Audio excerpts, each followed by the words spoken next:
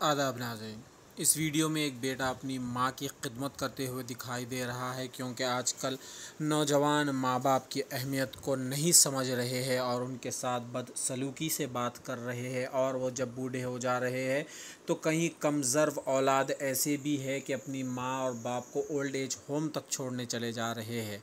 क्योंकि जब तक इनका साया तुम्हारे सरों पर है, इसे न्यामत समझो और इनकी खिदमत करके अपनी आखरत को बना लो। अल्लाह तबारक ताली ने जहाँ एक तरफ़ माँ के कदमों के नीचे जन्नत रखा है, वहीं बाप को जन्नत का दरवाज़ा बनाया है। उनकी खिदमत करके अपनी आखरत को संवारने का महीना आ रहा है। रमदान का महीना है, जहाँ पर एक नेकी के बजाय आपको सत्तर नेकियों का सवाब मिलेगा अल्लाह तबारक ताली की ओर से। तो नमाज़ें पढ़ते हुए, रोज़े रखते हुए भी अपने माँ बाप को अगर आप एक मोहब्बत और शफ़क़त की नज़र से देख लेंगे तो अल्लाह तबारक ताली आपको एक हज का सवाब नसीब फरमाएगा। तो आप तमाम नौजवानों से हमारी गुजारिश रहेगी कि अपने माँ बाप की अहमियत को समझो और जब तक उनका साया आपके सरों पे है, अपनी आखरत को संवार लो।